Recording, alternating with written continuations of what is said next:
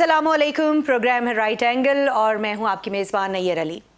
नाजिन बहुत ही अहम ये एक तारीख़ी हमने वाक़ देखा कि विफाकी काबीना ने जो है वो हल्फ उठा लिया। लेकिन निगरान विफाकी काबीना के हल्फ उठाने के बाद जो एक बुनियादी ज़िम्मेदारी इस निगरान विफाकी काबीना से तो की जा रही है, वो ये है कि ये निगरान विफाकी काबीना ना सिर्फ़ ये कि इलेक्शन को कंडक्ट कराएगी, बल्कि साफ़, शफाफ गैर जानबदार और बर वक्त इलेक्शन जो है उनके इनका को यकीनी बनाएगी। इस हवाले से हम बात करेंगे, हमारा आज का प्रोग्राम दो सेगमेंट्स पर मुश्तमिल होगा। पहले सेगमेंट में हम बात करेंगे। हमारे बहुत ही मोहतरम गेस्ट हैं, सबक secretary election commission Kanwar Dilshad साहब। उन्होंने हमें ज्वाइन किया है। उनसे बात करेंगे और दूसरे सेगमेंट में हम बात करेंगे। हमारे साथ मौजूद होंगी पीपल्स पार्टी की सीनियर रहनुमा हैं शाजिया मरी साहिबा। उनसे बात करेंगे। पहले सेगमेंट का आगाज़ करते हैं और सबसे पहले मैं वेलकम कहूँगी सबक secretary election commission Kanwar Dilshad साहब को। ये बताइएगा कंवर दिलशाद साहब कि एक अहम तरीन जो है, वो फैसला सामने आता है, विफाकी काबीना की जानब से कि अब जो है वो निगरान विफाकी काबीना बर वक्त इलेक्शन कराएगी। लेकिन ये जो बर वक्त इलेक्शन के इनका का मामला है, ये कहीं मुतसादिम दिखाई देता है इलेक्शन कमीशन और जो मुश्तर मफादात कौंसल का फैसला है उसके दरमियान में। तो आपको लगता है कि ये जो बर वक्त और साफ़ शफाफ इलेक्शन है, ये करवा पाएगा इलेक्शन कमीशन? ज़ाहिर इलेक्शन कमीशन पाकिस्तान इस वक्त बाकायदा शफाफ इंतबात कराने का अज़म पर खड़ा हो चुका है। और उसके इख्तियार भी बहुत वसी हैं। अब जो इसके बाद जो हमारी जो काबीना बनी है, वफाकी में, ये भी बड़े अच्छे टेक्निकल और टेक्नोक्रेट्स किस्म की काबीना बनी है और उन्हें इलेक्शन कमीशन पाकिस्तान की मामनत करनी है सपोर्ट करनी है, उनका किसी सियासी जमात के साथ कोई सरोकार नहीं है। इसी तरह जब पाकिस्तान में पहली दफ़ा एक निगरान जो प्राइम मिनिस्टर बने, वो भी तमाम सियासत के मामलों को समझते हैं। तो उस लिहाज से ये इलेक्शन कमीशन की बड़ी खुशकिस्मती है कि इस वक्त इंतहाई मुतहरक किस्म की काबीना बन गई है और वजी अजम जो है, वो इलेक्शन कमीशन के पुष्ट पर खड़े हैं।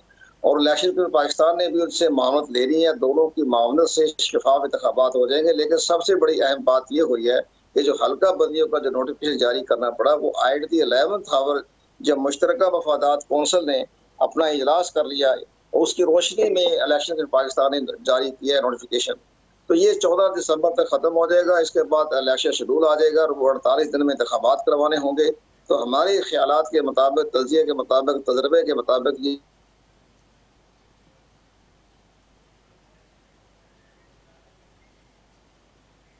हमें नज़र आ रहा है कि इलेक्शन जो है ये शफाफ ही होंगे और पंजाब गवर्नमेंट तो बिल्कुल गैर जानदार है। पंजाब की गवर्नमेंट ने इंतहाई गुड गवर्नेंस के तहत काम किया मैं पंजाब गवर्नमेंट का हिस्सा हूँ, पार्टनर हूँ। उनकी कैबिनेट का। मेरे पास वजारत कानून, पार्लिमानी अमूर है। मेरा ज़्यादा तजर्बा जो है, हम इलेक्शन कमीशन के हवाले से आपसे मीडिया से बात करते हैं। तो ये सारे मामला कमर साहब एक तरफ़ आप वज़ीर कानून हैं पंजाब की जो निगरान हुकूमत है उसके और दूसरी तरफ़ आपका जो इलेक्शन कमीशन का वसी तजर्बा है उसको देखते हुए हम आपसे ये भी सवाल ज़रूर उठाना चाहेंगे। हमारे नाजरीन को थोड़ा समझाइएगा कि क्या मुश्तर मफादात कौंसल इतनी बाख्तियार है कि वो आइन को एक तरफ़ रखा जा सके? क्योंकि आइन में तो वाज तौर पर लिखा है कि नबे दिन में इंतबात होने। तो ये मुतसादम दिखाई नहीं दे रहे आपको ये फैसला जो है? ये दुरुस्त फरमाया आपने, पे बड़ी बहस हो रही है कल से। तो उसमें बड़ी बात यह है कि वो आइन का आर्टिकल 51 का हिस्सा बन गया वफाकी हुकूमत ने जब नई मरदम शुमारी का नोटिफिकेशन जारी किया। तो अब एक तरफ़ तो आर्टिकल 51 जो है, जिसने कहा है कि हल्का बंदी लाजमी है और इलेक्शन कमीशन उसका पाबंद है, वह आर्टिकल 51 का हिस्सा है। कोई एक्ट या रूल नहीं है। एक्ट रूल होता तो इलेक्शन कमीशन नजरअंदाज कर देता। इसके साथ साथ वो आर्टिकल चौबीस के तहत नब्बे दिन के इंतबात इस वक्त दोनों मतवाजी मामला चल रहे हैं। एक तरफ़ आर्टिकल दो सौ चौबीस है, नब्बे दिन में इंतबात करवाएँ और एक तरफ़ आर्टिकल फिफ्टी वन है कि आप पहले हल्का बंदी करवाएँ।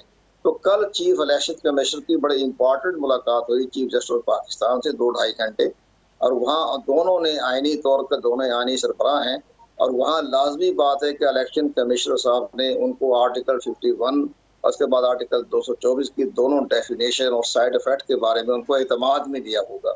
और तमाम अतमाद में लेने का ही नतीजा ये था कि जो ही उनकी मुलाकात से वो बाहर आए और उन्हें दो घंटे के बाद डिलिमिटेशन का नोटिफिकेशन जारी कर दिया। तो ये मुमकिन है कि सुप्रीम कोर्ट ऑफ़ पाकिस्तान को इलेक्शन कमीशन ने तमाम हालात से आगाह कर दिया कि जनाब दोनों मतवादी चल रहे हैं। वो भी आर्टिकल 51 है और वो आर्टिकल दो सौ चौबीस है। एक ही खिलाफ वर्जी होती है वो दूसरे की शिकनी होती है। तो ये दोनों के मतवाजन चल रहा है। तो पहला चूँकि आर्टिकल 51 आता है इसके बाद 224 आता है तो इन्होंने हल्का बंदी को नोटिफिकेशन कर दिया। तो हल्का बंदियाँ तभी ये गवर्नमेंट की ये जो हमारी सबका गवर्नमेंट है उसको इलेक्शन कमीशन ने बार बार वार्निंग दी थी कि अगर आपने 30 मार्च को आप जा, जारी कर दे नोटिफिकेशन ताकि हम चार छह महीने में अक्टूबर से पहले पहले आपकी हल्का बंदियाँ करवा लें। लेकिन शुमारिया डिवीज़न की अपनी कोई इंतजाई मामला थे जिनकी बना पर वक्त के ऊपर वो अपना हतमी रिज़ल्ट पेश नहीं कर सके। जिसके बाद उन्होंने इलेक्शन कमीशन ने आखिरी वार्निंग दी कि आप तीस अप्रैल तक कर दें। तो तीस अप्रैल तक भी वो नहीं कर सके तो जाके वो पाँच अगस्त को किया। जिसकी वजह से ये मामला जो है अब हम पैदा हो गया और दोनों मतवाजी जो है, कानून सामने आ गया आइन तो ये तरह तो पाकिस्तान के इलेक्शन के हालात को देखते हुए एक डेढ़ महीना अगर चला भी जाए तो कोई ज़्यादा असर नहीं पड़ेगा और दुआ करनी चाहिए कि हमें ये पंद्रह फरवरी से पहले पहले इंतबात हो जाए। और इलेक्शन कमीशन ने तमाम तैयारियाँ मुकम्मल कर ली है। कमर दिलशाद साहब कमर्शियल दिलशाद साहब लगता यही है कि कुछ दुआओं पे ही काम चल रहा है क्योंकि जो मुश्तरक मफादात कौंसिल में बैठी हुई जमातें थी ख़ास तौर पे पाकिस्तान पीपल्स पार्टी जो है उनकी जानब से उस वक्त सारे जो मामला हैं उनके ऊपर आमीन कहा गया हल्का बंदियों के मामले के ऊपर। लेकिन फिर बाद में जो है वो आज मामला ये सामने आ रहा है कि उनको एतराज़ है इसके ऊपर वो नबे दिन के इंतबात को यकीनी बनाने के लिए भी कह रही हैं और साथ साथ अदालत जाने की बात भी कर रही हैं अगर नहीं हो पाता। तो आप क्या देख रहे हैं कि क्या अदालत तक मामला चला जाता है तो डिले और ज़्यादा बढ़ जाएगा इंतबात में? ये दुरुस्त फरमाया आपने।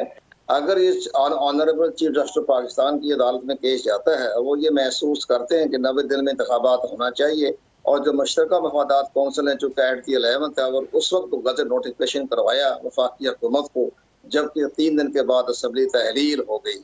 और असम्बली तहलील होने से तीन दिन पहले करवाया तो मुमकिन है, इस बारीकी को देखते हुए सुप्रीम कोर्ट ऑफ़ पाकिस्तान ने अगर वफाकी हुकूमत के नोटिफिकेशन को सस्पेंड तो नहीं काम कहेंगे, कलदम करार दे दिया तो फिर इलेक्शन कमीशन जो है वो नबे दिन में इंतबात करवा देगा पुरानी हल्का बंदियों के तहत। ये सुप्रीम कोर्ट ऑफ़ पाकिस्तान में इस वक्त बड़ा अहम फैसला करना है। उन्होंने आइन की इंटरप्रटेशन करनी है और सुप्रीम कोर्ट ऑफ़ पाकिस्तान के फैसले के इलेक्शन कमीशन पाबंद है। इंतबात जो भी हुक्म जारी करेगा सुप्रीम कोर्ट ऑफ़ पाकिस्तान, वो आइन की इंटरप्रटेशन करेंगे। तो वो सुप्रीम कोर्ट पाकिस्तान को मानना, ताबील करना, ये इलेक्शन कमीशन की आईनी और कानूनी ज़िम्मेदारी होगी। यानी एक बार फिर जो है वो बॉल इलेक्शन कमीशन से निकल के जो है वो सुप्रीम कोर्ट के कोर्ट में जाएगी। आप पंजाब में एक अहम अहदे पर फाइज हैं, आप पंजाब की काबीना का हिस्सा हैं। आप ये बताइएगा कि आपको इलेक्शन होते हुए दिखाई दे रहे हैं फरवरी, मार्च में, या आपको लग रहा है कि जो इस वक्त जो सूरत हाल सामने है, उसको देखते हुए आगे मामला जा सकते हैं? इसमें थोड़ा सा मैं आपके साथ इतफाक करता हूँ। इसमें चंद और अभी हैं इसके साइड इफ़ेक्ट लेकिन हम साइड इफ़ेक्ट को अभी ज़िक्र नहीं करना चाहते। जब ये साइड इफ़ेक्ट एक तरफ़ हो जाएगा, लेकिन इस वक्त बाद नज़र में, जैसे कि इलेक्शन कमीशन ने अपना शेड्यूल जारी किया हल्का बंदी का चौदह दिसंबर को, उसको अगर हम मद्देनजर रखें तो हमें नज़र आ रहा है कि ये फरवरी के पहले हफ़्ते में इंतबात होते हुए नज़र आ रहे हैं। लेकिन साइड इफ़ेक्ट बहुत ज़्यादा गहरे हैं इसके। तो वो कभी आपके साथ प्रोग्राम में हम शेयर करेंगे। उस पर अभी फ़िलहाल रोशनी डाला मासब नहीं है। लेकिन हमें फ़िलहाल तो इलेक्शन कमीशन के नोटिफिकेशन को देखते हुए कहना चाहिए कि इंतबात फरवरी के दूसरे हफ़्ते में होने के इम्कान हैं। आपकी, जो इलेक्शन कमीशन के हवाले से आपने बात की कि हमें जो है वो साइड इफ़ेक्ट्स पे बात नहीं करनी चाहिए, लेकिन कंवर दिलशाद साहब, साइड इफ़ेक्ट्स पर बात हो रही है। अब जबकि इलेक्शन एक्ट के ऊपर तरमीम भी सामने आ चुकी है और इस तरमीम के बाद आपको क्या लगता है कि इलेक्शन कमीशन कितना बाख्तियार हो चुका है? क्या वो इतना बाख्तियार हो चुका है कि सुप्रीम कोर्ट के फैसले के बाद भी वो फेबररी मार्च में इलेक्शन करे? क्योंकि अल्टीमेटली जमातें जो है वो मुतफिक नहीं है नवे दिन में इलेक्शन कराने पर और उन्होंने कोर्ट जाना है वो ये ऐलान भी कर चुकी हैं तो अब क्या होगा? नहीं, उसमें जो सेक्शन जो है इलेक्शन एक्ट का जो आपका हवाला दिया आपने, वो ठीक है कि सेक्शन 58 58 के तहत इलेक्शन कमीशन को ये अख्तियार दिए गए हैं कि अगर कोई ऐसे नागजीर हालात पैदा हो जाए तो आप उस पर अपने इलेक्शन के शेड्यूल को तब्दील कर सकते हैं। ये, वो सेक्शन 58 है। और सेक्शन 57 जो है उसमें ये तरमीम की गई है कि आप डायरेक्ट जो है इंतबात की डेट मुकर कर सकते हैं और प्रेजिडेंट ऑफ़ पाकिस्तान का जो लिखा होता कि मशावर करने का, वो शिक निकाल दी उन्होंने, इसे हालिया तरमीम जो हुई है। तो वह इलेक्शन कमीशन अपने तारीख देने में और डेट को आगे पीछे करने में, रद्दबदल करने में एक खुद खुद मुख्तार इदारे की हसीद सामने आया है। तो वो इलेक्शन कमीशन ने सारे सूरत को देखने लेकिन पहले सबसे बड़ी अहम बात है कि हल्का बंदियाँ हो जाएँ। क्योंकि हल्का बंदियाँ जो होती है ना ये उम्मीदवारों के लिए ज़िंदगी और मौत का खेल होता है। उन्होंने तीन तीन चार चार साल अपने हल्कों में काम किया होता है। वो अगर कहीं ना कहीं कोई ट्रांसफ़र आगे पीछे हो गई जोग्राफाई हदूद तब्दील हो गई यूनियन कौंसल तब्दील हो गई तो उनका सारा मामला जो होता है चौपट हो जाता है। तो, तो अदालतों में भी जाएँगे सुप्रीम कोर्ट में भी जाएँगे इलेक्शन कमीशन ने जो शेड्यूल जारी किया उसमें अपने तमाम इख्तियार को इस्तेमाल करते हुए कहा कि हम इसको चार चौदह अक्टूबर को मुकम्मल कर देंगे बाकी फिर दरवाजे खुल जाते हैं। आइन के तहत तो अपील अपील करेंगे, हाई कोर्ट में जाएँगे, सुप्रीम कोर्ट में जाएँगे। उसमें थोड़ा सा कहीं ऐसा ना हो जाए कि तब्दीलियाँ करनी पड़े या डेट आगे पीछे करनी पड़े। लेकिन फ़िलहाल आप हल्का बंदियों पर तवज्जो देनी चाहिए। तमाम सियासी इदारों को भी, जो जो आइंदा, जो पार्टी में इंतबात में हिस्सा लेने वाले हैं, उनको भी देखना चाहिए कि हल्का बंदियाँ किस अंदाज से जा रही हैं। तो पहली बात है कि हमारे सियासी पार्टियों ने टिकट ही नहीं दिए। अभी पहले टिकट देंगे तो आगे आगे चलेंगे, आप देखेंगे हल्का बंदी कैसी हो रही है।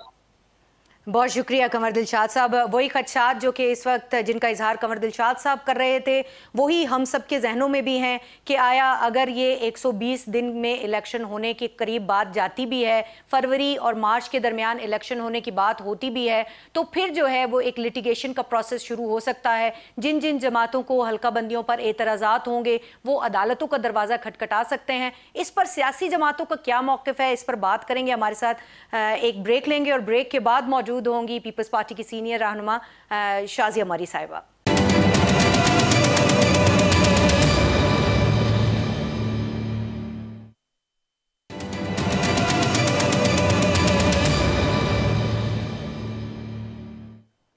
वेलकम बैक ब्रेक से पहले हमारे साथ मौजूद थे सबक सेक्रेटरी इलेक्शन कमीशन और पंजाब के निगरान वज़ीर कानून कंवर दिलशाद साहब और उन्होंने कुछ बहुत अहम बातें की हैं। उस पर हम रोशनी भी डालेंगे, कुछ मज़ीद सवाल भी को भी जन्म दिया है उनके साथ गुफ्तु ने। हमारे साथ हमें ज्वाइन किया है सेक्रेटरी तलात है पाकिस्तान पीपल्स पार्टी की शाजिया मरी साहिबा। आप सबक वज़ीर भी रह चुकी हैं बेनज़ीर इनकम सपोर्ट प्रोग्राम की। शाजी साहिबा, कंवर दिलशाद साहब ने जो गुफ्तु फरमाई, उसमें उन्होंने खदशात का इजहार भी किया कि जिस तरह से ये सारा मामला जो है ये होता हुआ नज़र आ रहा है, तब्दील होता हुआ नज़र आ रहा है तो इससे लगता है कि इलेक्शन जो है वो फरवरी, मार्च से आगे भी जा सकते हैं, जबकि पीपल्स पार्टी की जानब से एक वाज बयानिया जो है वो सामने आ चुका है कि इलेक्शन नवे रोज़ के अंदर होने चाहिए। तो आपका पहले तो ये बताइएगा कि पीपल्स पार्टी सी में मौजूद थी, उसके बाद फिर एकदम से जो है वो ये चेंज आया है तो क्या है, पॉलिसी में कोई चेंज आया है?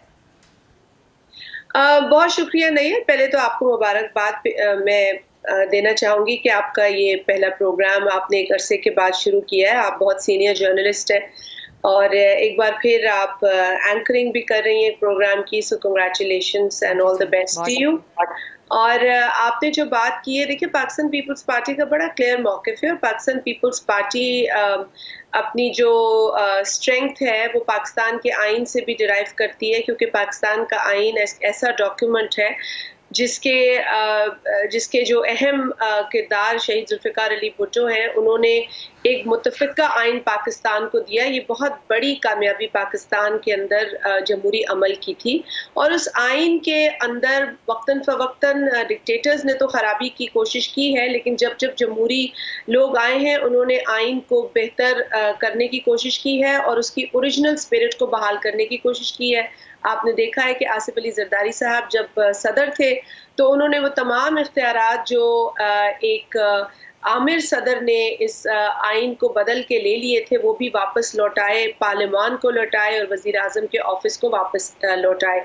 तो आज भी पीपल्स पार्टी आइन की रूह और उसकी रोशनी में ही बात करती है और हमारा ये मुतालबा है कि पाकिस्तान के अंदर जो आने वाले इलेक्शंस हैं, वो आइन के मुताबिक नवे रोज़ में होने चाहिए। आपने फरमाया कि हम सी सी आई में गालबन आप सी सी आई का पूछ रही थी हम सी सी आई में थे और सी सी आई के अंदर सेंसिस का एक वन पॉइंट एजेंडा लाया गया था। हमारा एतराज़ सेंसिस की एक्सरसाइज पे हमेशा रहा और उसकी हमारे पास बाकायदा वजूहत हैं और जो मेरिट पे हैं। दो हज़ार सत्रह के सेंसस पे हमने बड़ा उस पर एतराज़ किया। बिलखसूस चीफ मिनिस्टर सिंध जो कि सिंध के अंदर पाकिस्तान पीपल्स पार्टी की हुकूमत के की ज़िम्मेदारी संभाल रहे थे। उन्होंने सिंध के इंटरेस्ट का दिफा किया। दीगर जमातों ने भी 2017 के सेंसस पर अपनी जो कंसर्न्स है, उसका इजहार किया। लेकिन जिस तरीके से सीएम सिंध ने इस केस को फाइट किया और आगे रख, लेकर आए, वो एक आपने देखा कि बड़ा नुमाया उनका किरदार इसमें रहा।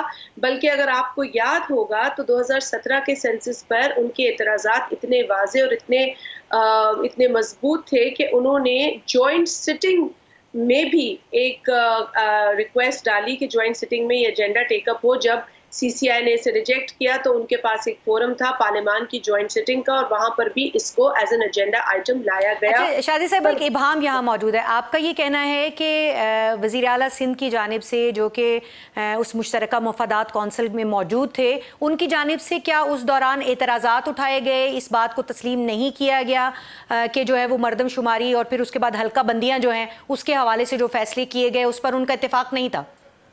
अब मैं आपको सिर्फ़ 2017 पर बता सकी हूँ और उसके बाद आपको पता है कि एक और सेंसस की बात हुई। और ये तो पिछली हुकूमत भी जब थी तो उस वक्त की ये बात है जब पिछले शहबाज शरीफ साहब से पहले जो वज़ीर अजम थे उस वक्त भी ये सिंध की जानब से एतराज़ था सी एम सिंध की जानब से एतराज़ था जिसको ज़ोर शोर से उन्होंने उठाया और उसके नतीजे में नए सेंसस की बात हुई। अब नया सेंसस जो हुआ नयर उसमें ज़रा थोड़ी गौर तलब बात यह है कि एक तो वो हाइब्रिड था ना वो मुकम्मल डिजिटल था, ना वो मुकम्मल जो है वो इन्यूमरेटर्स के ज़रिए किया गया। तो वो हाइब्रिड सा एक तरीका था, जिसके ऊपर हमें एतराज़ था, क्योंकि उसकी जो लिमिटेशन टाइम ड्यूरेशन थी, वो भी पूरी नहीं थी। जिस तरीके से वो हो रहा था, उस पर बहुत कंसर्न्स थे। तो उस पर भी मुतवातर मुतवातर हालाँकि हम काबीना का हिस्सा रहे, एक बरस जो गुजरा है, उसमें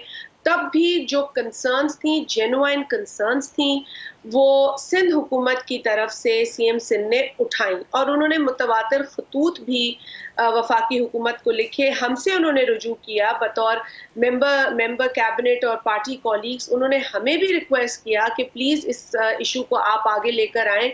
ये लोगों का मसला है, ये अवामी इशू है और सेंसस जो है, उस पर सबका इतफाक़ होना ज़रूरी है। ये प्रोसेस जो है, बड़ा अहम है। खैर ये ये एक लंबी कहानी है और इस पर चीज़ें हुई लेकिन फिर आती है ये सीसीआई की मीटिंग हम्म। अच्छा सीसीआई की मीटिंग के अंदर ये आ, तमाम जो फिगर्स थी वो शेयर की गई.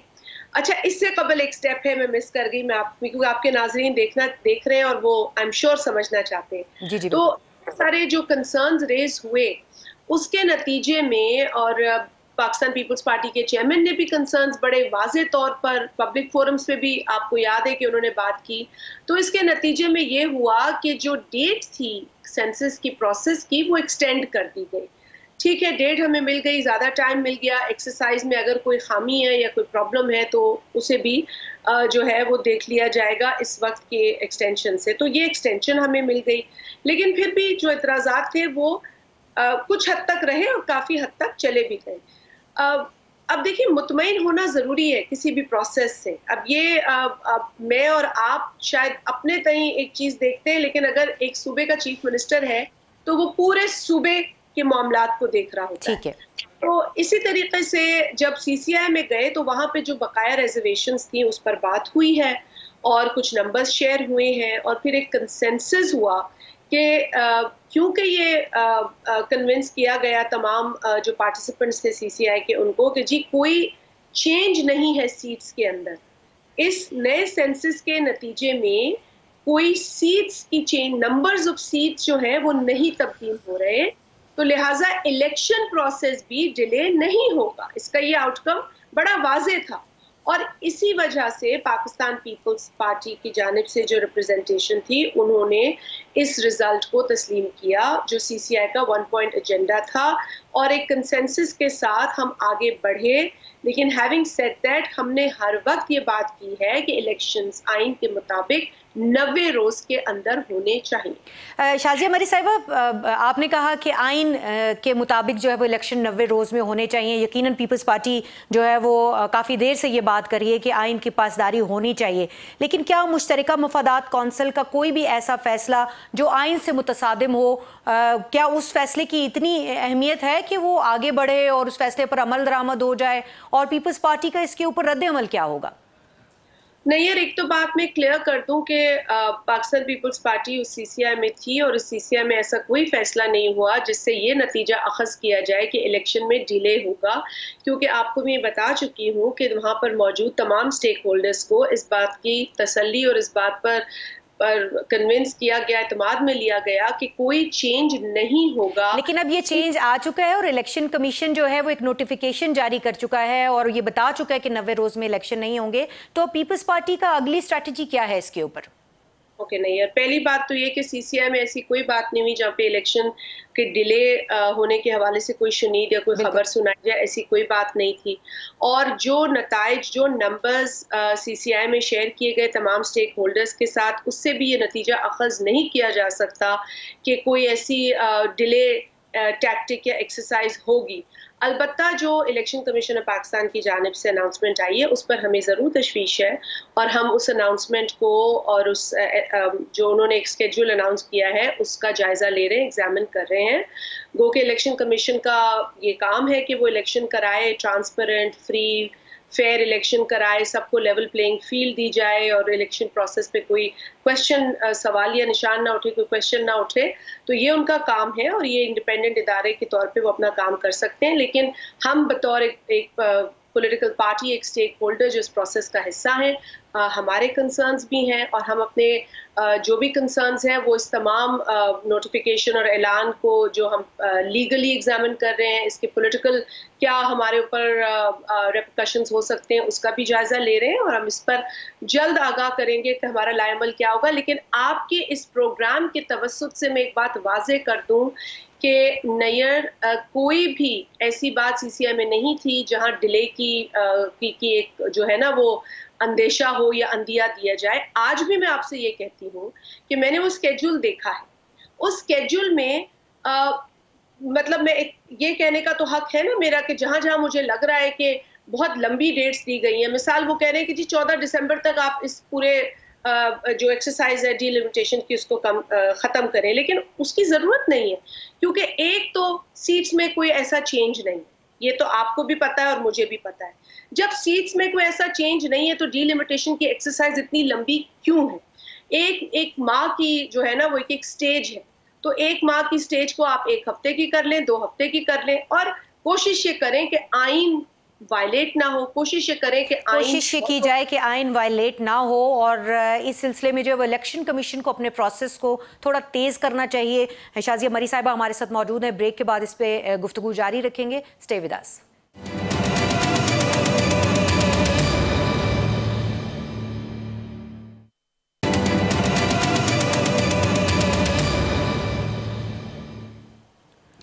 welcome back Shazia Marri साहिबा जो कि सेक्रेटरी इतलात हैं पाकिस्तान पीपल्स पार्टी पार्लियामेंटेरियन की सीनियर रहनुमा हैं, हमारे साथ मौजूद हैं और हम बात कर रहे हैं इस वक्त के आखिर इलेक्शन में जो है वो ताखीर के लिए जो हीले बहाने इस्तेमाल किए जा रहे हैं जो तोजीहत दी जा रही हैं, उन पर किस हद तक जो है वो अतमाद किया जाना चाहिए इतफाक़ होना चाहिए, नहीं होना चाहिए पीपल्स पार्टी का अंदा का लाया अमल क्या होगा? शाजिया मरी साहिबा आपने बड़ी अहम बात की ब्रेक से पहले कि इलेक्शन कमीशन अपने प्रोसेस को स्पीड अप कर सकता है, बजाय इसके कि आइन से मुतसादिम फैसले पर, अमल दरामद पर मजबूर हो जाए। तो इससे आपका क्या मतलब है कि क्या इलेक्शन कमीशन जो है वो ओवर टाइम लगाना शुरू कर दे, या फिर जो है वो इलेक्शन कमीशन जो है वो, क्या करे इलेक्शन कमीशन? क्या आप समझती हैं? नहीं यार मैंने ओवर टाइम की बात नहीं कर रही हूँ लेकिन कुछ ऐसा टाइम लिमिट है जो कि थोड़ा सा एक्सटेंडेड है। लाइक आई सेड कि उसको पूरा एग्जामिन हम कर रहे हैं तो मैं इस वक्त इस पोजीशन में नहीं हूँ कि मैं आपके साथ एग्जैक्टली exactly बताऊँ कि कहाँ पे उन्हें चेंज करना चाहिए। लेकिन जो मैंने उनका स्केड्यूल देखा है और मेरी पर्सनल राय यही है कि उसको रिव्यू किया जा सकता है। देखिए अगर तो इलेक्शन कमीशन पाकिस्तान का आइन फॉलो करे आइन के कहीं भी आइन की वायलेशन ना हो इसे इंश्योर करे, अपनी आइनी ज़िम्मेदारी जो इलेक्शन नबे रोज के अंदर कराने की है, उसको फुलफिल करे तो मेरे ख्याल है वो रास्ता निकाल सकते हैं। अगर उन्हें कोई दुश्वारी है तो फिर उन्हें पॉलिटिकल स्टेक होल्डर्स के साथ बात करनी चाहिए बिकॉज़ इलेक्शन प्रोसेस के अंदर सबका एतमाद होना ज़रूरी है। अगर इलेक्शन प्रोसेस की जो तारीख वो अनाउंस कर रहे, कर की नहीं है, लेकिन अभी जो अंदिया दे रहे हैं कि वो आगे हो जाएगी और इस इस तरह की एक्सरसाइज होगी उससे पहले।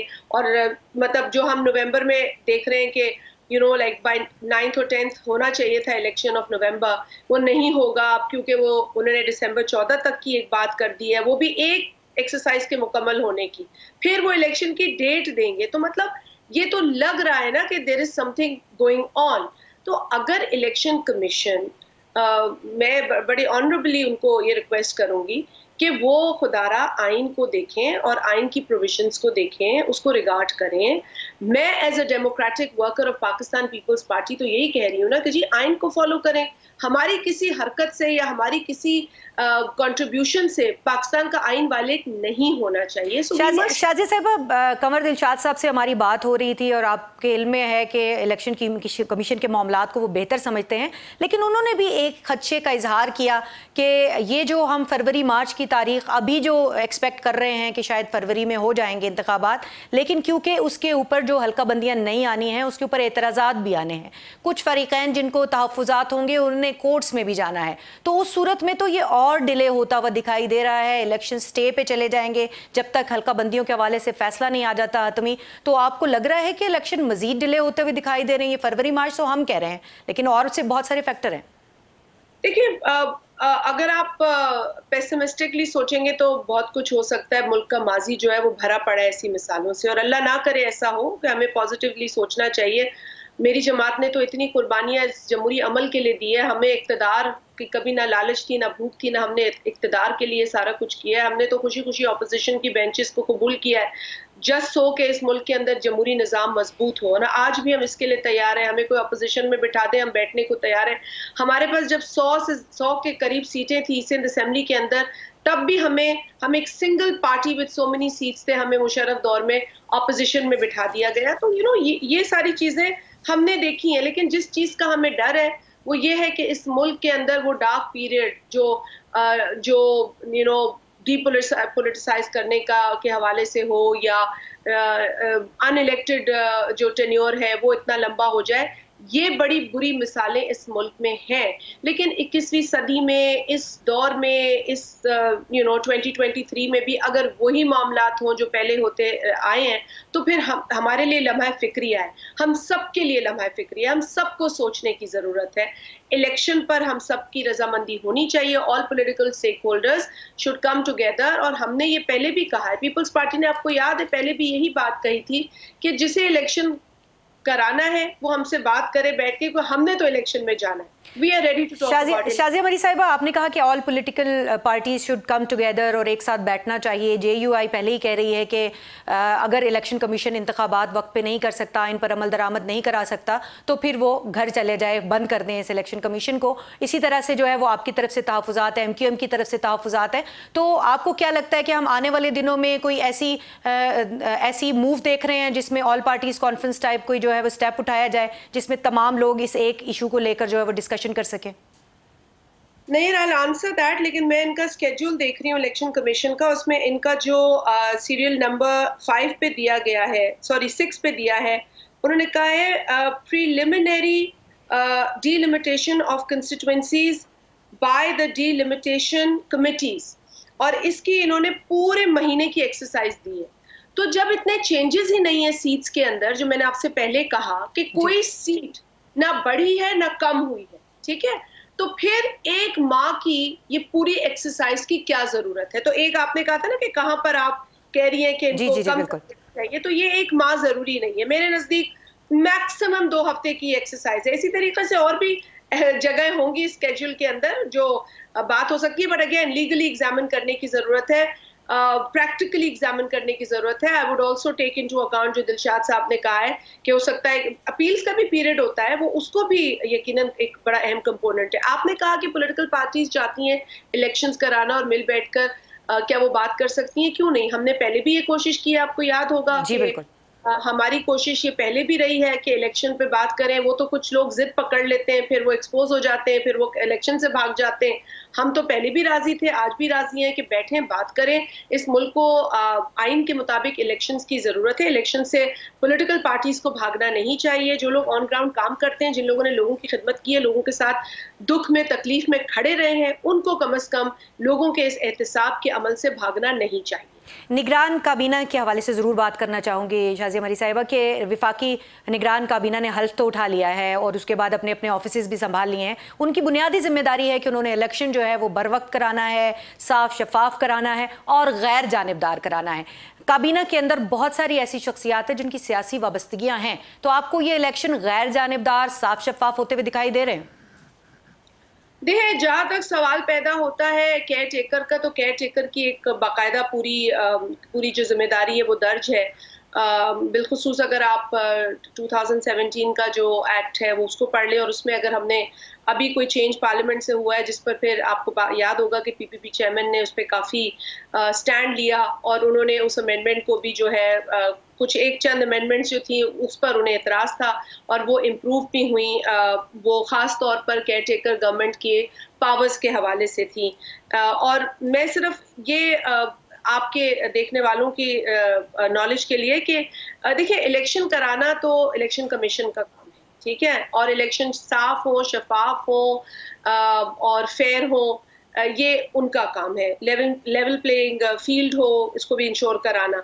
अब केयर टेकर का काम जो है ना, वो इलेक्शन के अंदर कोई भी इन्फ्लुएंस वो नहीं कर सकते। ये बड़ा वाजे है और उन्होंने न्यूट्रल रहना है। कर नहीं सकते रूल्स के मुताबिक से या कभी किया नहीं और आइंदा नहीं करेंगे? ये दो अलग बातें हैं शाजी साहबा। मैं ये पढ़ रही हूँ ना attempt to influence the election or do or cause to be done anything which may in any manner influence or adversely affect the free and fair election ये नहीं कर सकते। They can't do this so I am trying to say अब जो भी care taker government में है उनकी जो जो ज़िम्मेदारी है, वो आइन और कानून में मौजूद है। उनकी ज़िम्मेदारी सिर्फ़ उस वक्त तक ही है, जब तक के एक नई इलेक्टेड गवर्नमेंट नहीं आती। कोई नया इनिशिएटिव कोई नया प्रोजेक्ट किसी चीज़ की फाउंडेशन वो ले नहीं कर सकते। जो कुछ मामला हो रहे हैं, सिर्फ़ उसकी वो केयर टेकर है। वो सिर्फ़ मतलब आप क्या कह लें कि वो देखभाल करने के लिए आए हैं। उन ठीक है निगरान निगरान जो विफाकी काबीना है उसका काम सिर्फ़ निगरानी हाँ, करना है। तो वो निगरानी करने आए हैं। इसमें मैं तो आपकी तवसत से ये भी कहूँगी कि जो जो निगरान सेटअप में है वो जो बात करें अपने अल्फाज का भी जो चुनाव है वो जरा सोच समझ के करें बिकॉज़ इस पर भी Uh, मुझ जैसा एक डेमोक्रेटिक वर्कर देखता है मैं कहती हूँ कि भाई you can't sort of cross your limits तो अपनी हदूद है उसमें रहकर जो जिम्मेदारियाँ हैं उस उस वक्त तक पूरी करें जब तक के एक इलेक्टेड गवर्नमेंट अपनी जगह और अपनी ज़िम्मेदारी पे नहीं आती। ठीक है, जब तक कि कोई इलेक्टेड गवर्नमेंट नहीं आ जाती, निगरान हुकूमत का काम है, वो निगरानी करे और अपनी जिम्मेदारियाँ पूरी करे यकीनन शाजी मरी साहब, इस पर बहुत सारी बात हो सकती है, लेकिन हमारे प्रोग्राम का वक्त महदूद है। आपको बहुत बहुत शुक्रिया, आपने हमें ज्वाइन किया। शाजिया मरी साहिबा हमारे साथ मौजूद थी, कवर दिलशाद साहब हमारे साथ मौजूद थे, और दोनों ने इस खदशे का इजहार किया कि लगता यूँ है जो सूरत हाल जो है, जिस तरह से डेवलप हो रही है, और जिस तरह से जो है, वो मामला सामने आ रहे हैं इलेक्शन कमीशन के नोटिफिकेशन के बाद, कि अब जो है, वो इलेक्शन पहले तो फरवरी मार्च की बात हो रही थी, लेकिन अब जो है वो फरवरी मार्च से आगे जाती हुई जो बात है वो दिखाई देती है। इस हवाले से मजीद भी बात करेंगे। इजाज़त दीजिए। अल्लाह हाफिज़।